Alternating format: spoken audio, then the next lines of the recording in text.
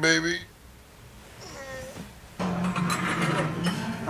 All right. Eh, da har jeg stått opp.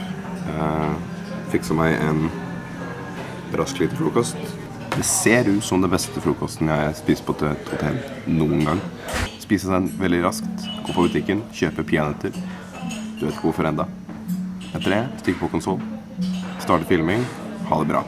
En liten disclaimer. Det kan hende det ikke blir like mye innhold i dag som var på i går og dagen før det igjen. Fordi jeg kommer til å filme en god del for konsoll. Men jeg skal prøve å skvise inn litt her og der. ok?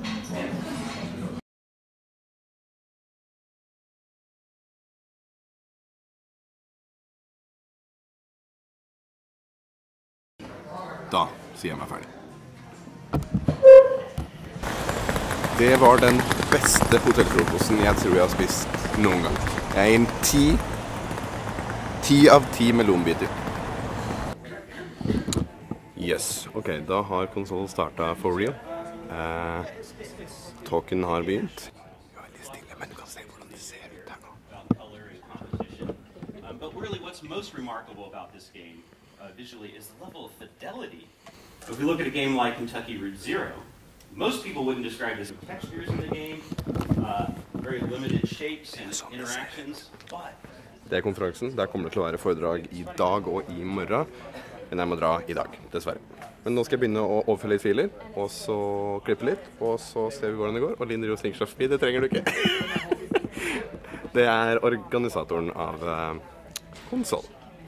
Veldig flott dame. Men ja, da tror jeg vi egentlig bare kutter av her. Og så prates vi etterpå. Sånn. What? Fins det? Det finnes vidvinkler, ja. Det er kanskje opp om det. Det er, det er for sånne vide folk som meg.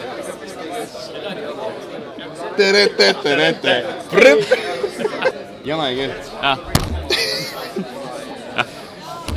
Hvor mange cashewnøtter av ti cashewnøtter vil du gi konferansen så langt? Konferansen er ikke ferdig, så åtte Åtte? og ti. Så det har Det forbedringspotensial har på, forbedringspotensial. på to cashewnøtter. Dette intervjuet her, hvor mange chilinøtter av åtte vil du gi det? Jeg ville gi Hæ, åtte? Det var bra. Eh, en åtte. This, guy- this guy, huh? This guy, huh? He's a rockstar! He's a rock- Look at my shoes, baby. I'm a step dancing shoe, motherfucker. Yes, da er konsol... Konf nei, konsolkonferansen er ikke ferdig. Jeg tror du skulle si konfuse seg. Da er foredragene for dag én på konsoll ferdig. Eh, nå er det en liten pause på ca. 2 12 timer, og så er det planlagt fest på Gran. Ja, Grand, Gran Hotell. Term Terminus. Terminus, ja. ja. Der de døde i Duaken. Ja, det var det jeg skulle til å si. Ja. Spoiler! Fuck! da skal vi spise litt eh, Da skal vi spise litt burger eller eh, Pizza. pizza. Pizza på, Pizza? på skikkelig østlands. Det er Østland. Eh, og så veger vi oss til høsten. Jeg måtte bare fikse sveisen. Eh, da har vi vært på, på Burger Joint. Nå skal vi på Dirty Bit. Her er vi. Ha det bra. Hysj! Yo! Hello. Takk for det. Har jeg hilst på deg før? Det veit jeg ikke. Usikker. Mattis heter jeg. Alexander? Jo visst har jeg det. Du har det? Ja, jeg tror jeg har fått langt hår siden sist vi Hei! Hei! Mattis. Anette. Hei. Eh, Mattis. Ok, da er vi på plass på Dirty Bit sine kontorer. Dette her er vel et av de peneste kontorene jeg tror jeg har sett i Norge når det kommer til spillutvikling. Det er helt latterlig. Så jeg har fått nøye instrukser om å ikke filme det, og ikke filme det. Så derfor skal jeg bare holde meg hitover i, det, i denne retningen her. Uh, Dirty Bit er et firma som jobber på Funrun. De hadde enorm suksess med Funrun 1. eh, og jobber nå på Funrun 2. Og de jobber også på et spill som jeg ser konseptarten til bortpå her, men som jeg ikke kommer til å vise. Og så skal jeg snart bevege meg imot eh, festen bort på Grand Hotell her i Bergen. For uh, det er det aller siste jeg gjør. Etter det så går jeg til toget og uh, tar uh, toget tilbake igjen til godeste Oslo, for deretter til Hamar. Så da ses vi etterpå. Yes, da er vi på plass i Grand selskapslokaler. Nå skal vi se hva som foregår her. Her er det visstnok en fest for noen konsollgreier. Her, her, her var det kjentfolk med en gang, faktisk. Da er det greit. Da er vi på riktig sted. Garantert. Men eh, du, Mattis. Hvordan har det vært for deg her på kontroll? Det har vært kjempe... Du får Det ikke var kjempe... Å, ja, jeg får ikke slappe. Det har vært kjempebra. Det har vært eh, dritbra. Det har vært en ny opplevelse. Det var en veldig bra opplevelse. ja, Det var egentlig korrigering av meg sjøl, for jeg tenkte bare Hva er det du driver med? Har du hatt det negativt på sånn? 2015, Mattis. Går det bra med deg? Er det noe du vil dele?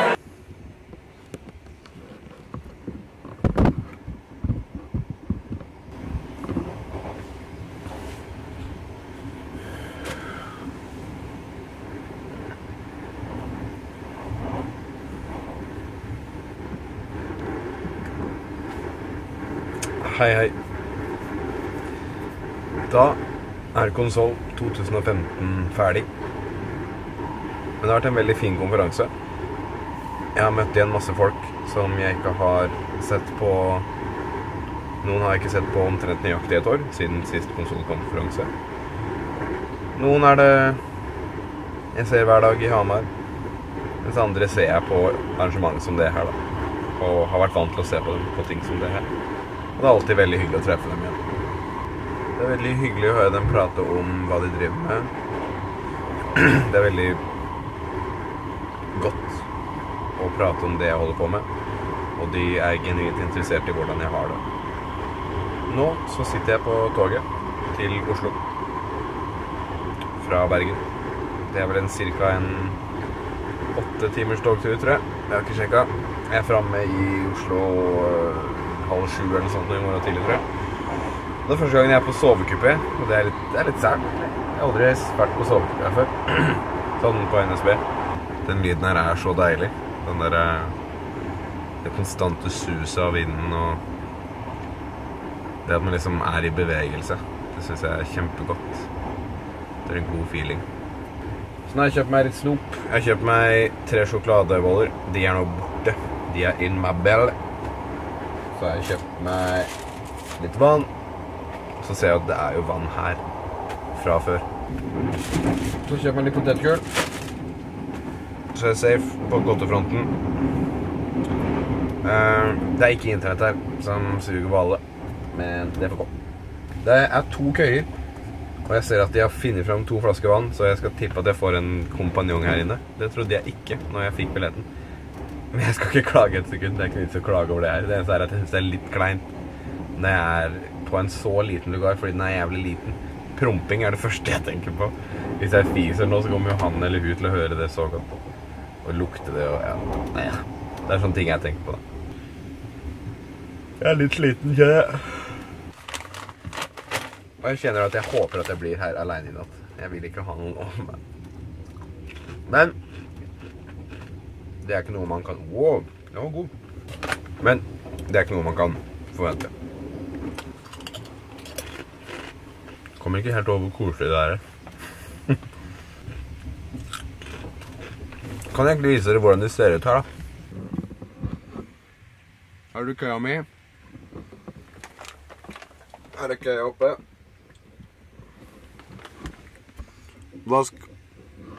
Vann. Vindu. Bare hør her.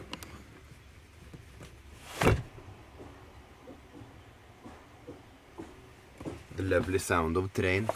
Jeg vil veldig gjerne takke Linn Søvig fra Snowcan Games for å ha invitert meg. Det er veldig tydelig at norsk spillutvikling er på vei oppover. Og at det er en fantastisk gjeng som holder på med det de driver med. Og jeg er veldig beæra over å kalle de menneskene her for mine venner. Så med det så avslutter jeg. Dette er vlogg-eksperimentet mitt. Jeg håper det har vært halvveis interessant til en viss grad. Hvis ikke, beklager. Det har vært interessant, vær så god. Så prates vi i neste episode av Kanskje jeg gjennomfører. Bye bye!